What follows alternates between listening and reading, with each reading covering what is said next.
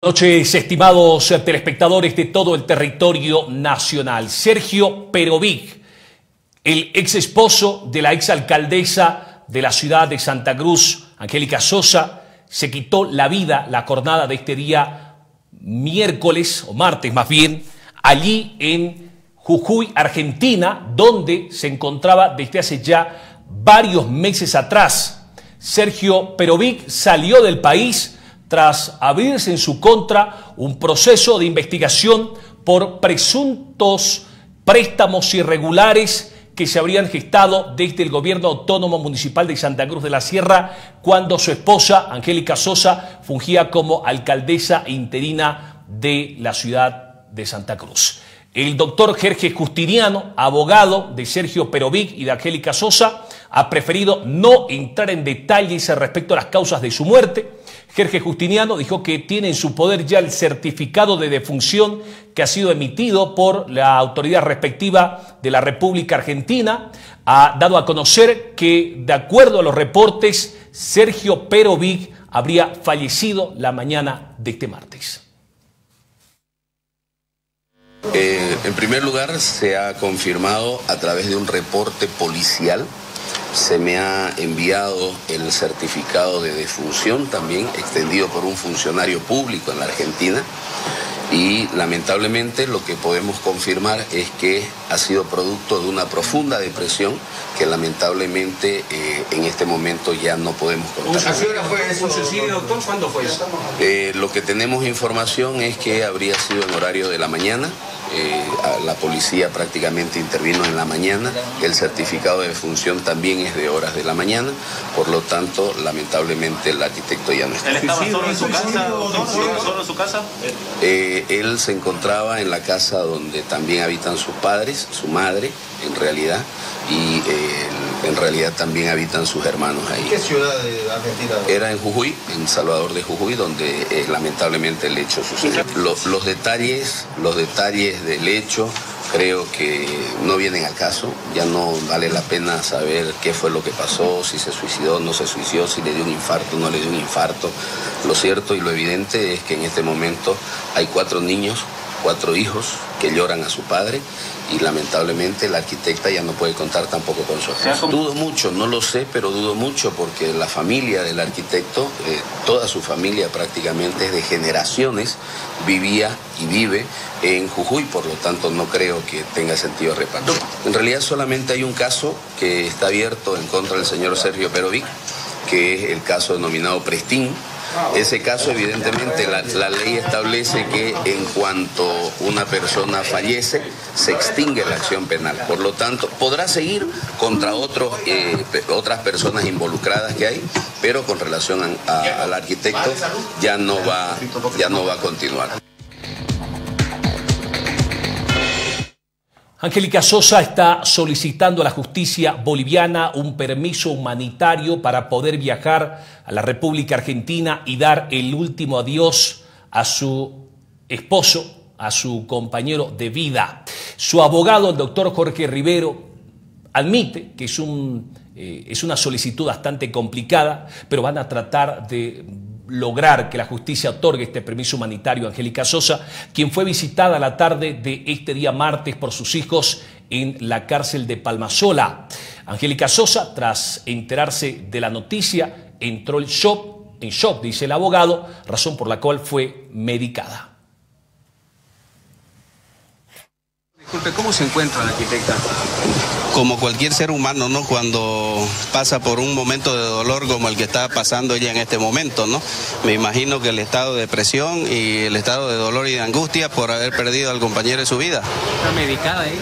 Sí, está medicada porque han estado en un, en un momento de depresión, entonces los médicos del penal la han estado atendiendo. ¿Los hijos de la arquitecta? Los hijos hoy se pidió un permiso extraordinario para que puedan entrar a verla a su madre y seguramente estarán ya viendo los recaudos para poder viajar y estar en las exequias de sus padres, ¿no? Ellos este, viajarán a... Eh, tienen que viajar, eh, cualquier hijo lo haría, ¿no? No, o sea, vamos a pedirle al juez, ¿no? Pero veremos qué sucede. ¿Hay un mecanismo para abrir esa posibilidad de que ella pueda viajar?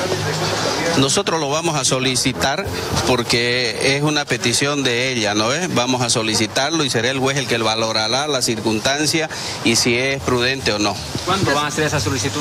Hoy día se ha hecho ya. ¿Ya se ha hecho ya para viajar a Argentina? Sí, eh, eh, no se olvide usted que estamos ante un mandamiento de aprehensión de dos, en dos procesos. No, no se puede recurrir ahora a un solo juez, son dos los jueces. Entonces son dos criterios diferentes y distintos, ¿no ves? El senador de Creemos, Eric Morón, ha hecho llegar sus condolencias a la exalcaldesa de Santa Cruz, Angélica Sosa, la asambleísta dijo que expresa además de sus condolencias su solidaridad para la exautoridad, quien en estos momentos está pasando por un momento difícil. Bueno, sin duda alguna, es una tristeza y tenemos que ser solidarios con las personas y con el dolor familiar que puede tener cualquier persona, y en este caso una exalcaldesa de nuestro departamento, de nuestra ciudad de Santa Cruz de la Sierra, toda nuestra solidaridad, ojalá que le dé eh, Dios resignación y paz a toda su familia, a su corazón, una pena también por sus hijas y por toda su familia, y obviamente estamos con ella dándole todo nuestro apoyo solidario como persona, como humano y como una exautoridad que tuvo eh, la ciudad de Santa Cruz de la Sierra. Lo humano ante todo, a pesar de todo. Lo, eh, lo humano, solidario nunca se debe perder, las sillas son transitorias, todos sabemos que las sillas son transitorias, los procesos de investigación todos tienen que investigarse, pero en estos momentos de dolor, de pena, de tristeza, lo único que le deseamos es que haya paz y resignación en su familia. Ha sido ex concejal, ha sido ex alcaldesa, más allá de los juicios de valores o de los procesos de investigaciones que hayan, ocupó un sillón importante en la ciudad de Santa Cruz de la Sierra. Habrá que prejuzgar si quienes fueron buenos alcaldes, quiénes serán malos alcaldes, eso el tiempo lo dirá, pero en estos momentos de dolor nosotros tenemos que demostrar nuestra solidaridad, nuestra tristeza y que Dios regale paz y resignación en su familia.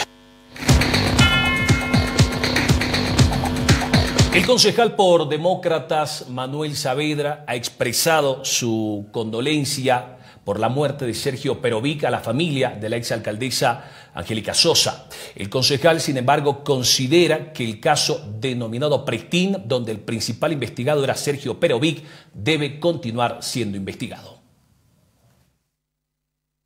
Bueno, aquí hay dos temas. El primero es un tema judicial. Hay un proceso en curso, una investigación que sin duda alguna esto la afecta, eh, la perjudica. Esperemos que se pueda continuar y que se pueda esclarecer este tema, que creo que es lo que los cruceños queremos. Pero también hay un tema humano.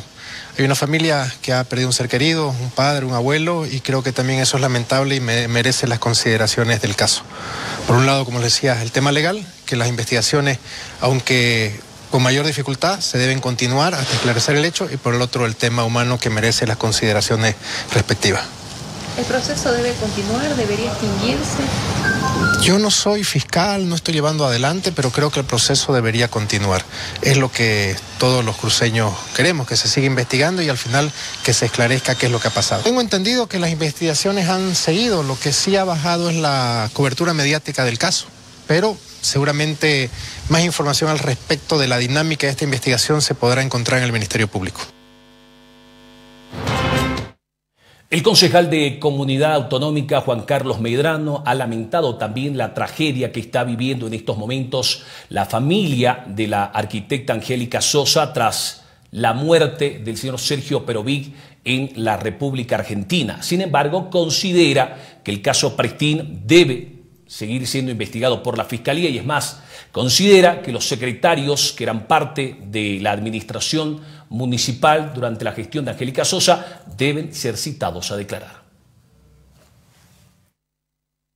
Que nadie espera una tragedia así en la familia, creemos que su familia debe estar pasando por momentos de dolor, pero más allá de eso hay que separar los delitos, ¿no? Creemos de que hay muchas personas involucradas, es muy difícil suponer que una sola persona hizo y manipuló todo este sistema para quitarle al municipio estos fondos. Entonces la Fiscalía, el Poder Judicial debe continuar con la investigación con aquellos exsecretarios, directores, jefes que hubiesen tenido participación y empezar así una eh, gestión más transparente, ¿no? Ha habido una denuncia prácticamente de que algunos secretarios y jefes han fugado del país, no están presentes y que la Fiscalía en ningún momento eh, lanzó una orden de aprehensión en contra de ellos, mucho menos una alerta migratoria. ¿no? Esto nos hace pensar de que al Poder Judicial no le interesa eh, recuperar los fondos del municipio, mucho menos la investigación, y de que podrían pretender eliminar todas las causas con el fallecimiento de este señor. ¿no? Una vez más reiteramos, lamentable la situación, pero la investigación debe proseguir y los involucrados tienen que rendir cuentas a la justicia. Persona que estaba siendo sindicada por el hecho haya salido del país sin que nadie se dé cuenta, ¿no? y que después, estando allá, recién se informe a las autoridades en Bolivia. De todas formas, más allá de esto, es la Fiscalía quien eh, tomará las decisiones al respecto y que no pase lo mismo con los otros involucrados, que no pase lo mismo con la gente que está fugando. Diputado del MAS, Rolando Cuellar, ha ido mucho más allá de expresar sus condolencias a la familia de la arquitecta Angélica Sosa, Rolando Cuellar está pidiéndole al Ministerio Público conformar una comisión que se constituya en Jujuy, Argentina, para constatar si es cierto o no que el señor Sergio Perovic se quitó la vida la jornada de este martes. Como parte querellante del proceso ítem fantasma, pedimos a la Fiscalía Departamental de Santa Cruz conformar inmediatamente una comisión para viajar al país de la Argentina a Jujuy para la veracidad del cuerpo sin vida del señor Sergio Perovis y verificar con el Ministerio Público y la Policía de la Argentina la veracidad del certificado forense en un proceso de investigación de corrupción que hay en el municipio de Santa Cruz, se tiene que investigar y bajo procedimiento penal se tiene que concluir con la investigación y le pedimos a la comisión de fiscales inmediatamente viajar porque los recursos de la denuncia de corrupción se tienen que invertir en salud, educación y en obras para el pueblo cruceño. Entre tanto, la fiscal Yolanda Aguilera, una de las fiscales que está llevando adelante las investigaciones por el denominado caso Prestín, ha dicho que más allá del deceso, de la muerte del principal investigado dentro de este caso, el proceso como tal va a seguir su curso, dijo, para tratar de establecer y determinar responsabilidades, pero además para identificar a aquellas personas que pudieron haber cometido los ilícitos que son investigados. Aperturado y el, todo tiene su trámite, sus procedimientos, ¿no? Entonces continuamos con las investigaciones, no tenemos información oficial hasta el momento.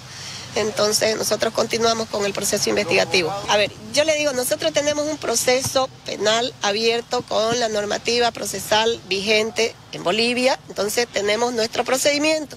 La información que dé extraoficial cualquier persona, abogado o, o incluso alguna autoridad que no sea oficial y dentro del proceso nosotros no la consideramos hasta no tenerla eh, recabada oficialmente y conforme a nuestro procedimiento penal. Entonces el proceso continúa abierto, seguimos con las investigaciones.